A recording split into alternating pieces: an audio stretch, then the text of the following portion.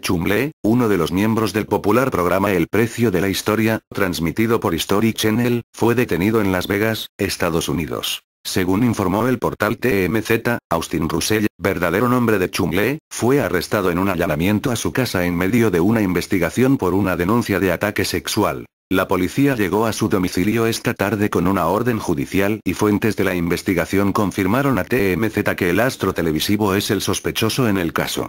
Al interior de su vivienda se hallaron, además, marihuana, metanfetamina y al menos un arma. Si te gusta el video suscríbete y comparte hasta otra.